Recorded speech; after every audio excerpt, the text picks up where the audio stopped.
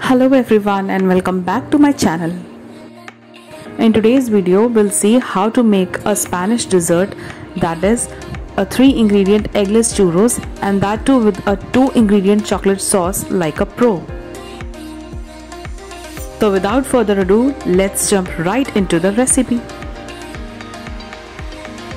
Firstly take a pan and put it on a low flame and add 1 cup of water to it.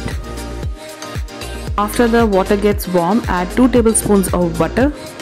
Now using a spatula, keep on stirring it until the butter melts completely. Then add a teaspoon of vanilla essence. This step is completely optional. It's time to add 3 4 cups of refined flour. Mix the flour very well into the water until everything comes together nicely. It will take 3 to 4 minutes for the mixture to become a nice dough. After doing so, let it cool for some time. It's been 10 minutes now since the dough is resting. Now take it out on your worktop. Now using your hand, knead this dough for a couple of minutes until it becomes smooth and soft. Stretch the dough with your hands the way I am doing. This way, the dough will release its gluten, making it stretchy and bouncy. Now take a glass and place your piping bag with a 1M nozzle in it. Now take the dough and put it in the piping bag.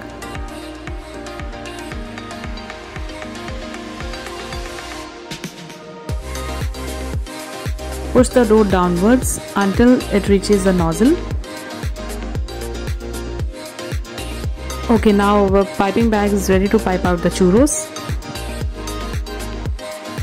Hold the piping bag with both your hands and start pushing the dough downwards, making beautiful churros. You have to do this when the dough is still warm, otherwise the churros won't come out of the nozzle. Be a little patient because it will take all your strength in piping out those churros. Now these are ready for frying. Take some oil in a pan and heat that on a medium flame. Now very carefully put the churros into hot oil. We'll cook this on medium flame for 2 to 3 minutes. Then turn the flame on high and again cook it until the churros turn golden brown in color. Look how beautiful our churros are looking.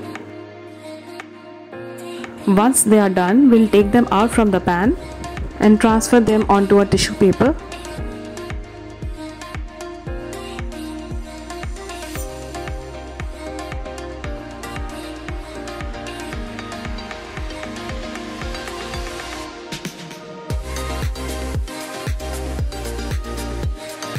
Here I have taken some caster sugar and I'm coating my hot churros in it. Please make sure when you're doing this your churros are still hot otherwise the sugar won't stick on it. After doing so, tap your churros once for getting that extra sugar off from them. Then transfer these onto a serving tray.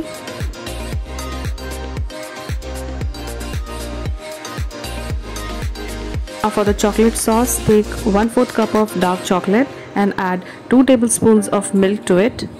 Microwave this for 30 seconds checking every 10 seconds each until the chocolate melts down completely.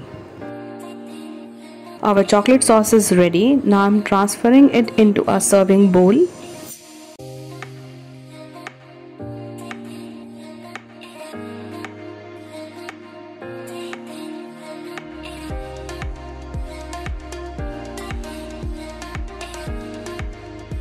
And with that, our 3 ingredient eggless churros with 2 ingredient chocolate sauce is ready to serve hot. I hope you like the recipe. Thank you so much for watching. Please don't forget to like, share and subscribe to my channel.